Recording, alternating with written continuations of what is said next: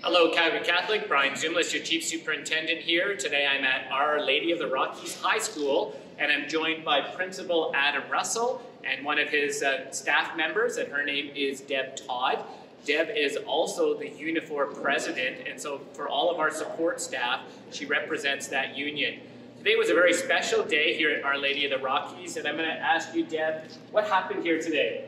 It was such a privilege um, to be part of the day in the name changing and transferring the name from Bishop Grandin to Our Lady of the Rockies.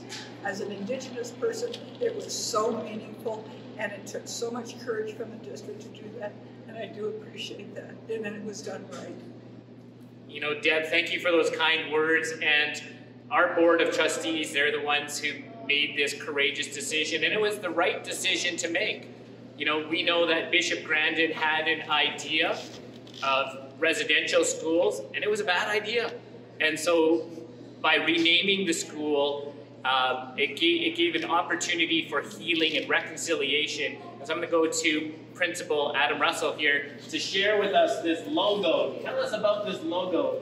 What? So, uh, our, so with the name change comes a logo change. So with this opportunity, actually, uh, one of our teachers, uh, Laura Ricketts, created this display that you have here today.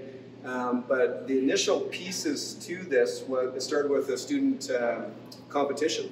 And so it went through many iterations, and this is what we came with as our final piece. And we actually just put our final piece in about a week ago, which is uh, we needed to add in uh, a portion of Our Lady. So as Our Lady of the Rockies, we have the Rockies, we have the, our cross as a symbol of our faith, we have the three feathers, um, a great indigenous symbol, we have the colors of the medicine wheel, and then of course we have um, our namesake, uh, Our Lady, uh, who intercedes for us. This is just a beautiful logo, but we know it's the staff, it's the students all working together to create Our Lady of the Rockies High School. This was such a marvelous event that happened today. We were joined by many members of the Indigenous and non-Indigenous community, and uh, I wish you all the best, and thank you for what happened here today. God bless. Peace, everyone. Thanks, Dr.